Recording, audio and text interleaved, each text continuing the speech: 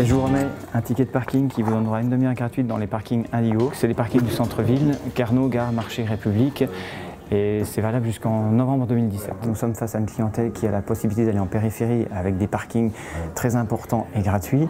Donc si nous, en tant que commerçants, on a la possibilité de permettre aux, gens de revenir au centre-ville avec cet avantage d'avoir donc une heure au moins de parking payé, c'est très intéressant. On a une convention avec euh, la mairie de Nancy, euh, la CCI euh, et donc les vitrines de Nancy. On, met en place par exemple des samedis à 4 euros, où là le parking ne coûte 4 euros que toute la journée en fait, où vous venez, où vous venez faire vos achats. Donc on essaye d'avoir des astuces euh, pour rendre le plus favorable possible et agréable la visite du client sur le centre-ville.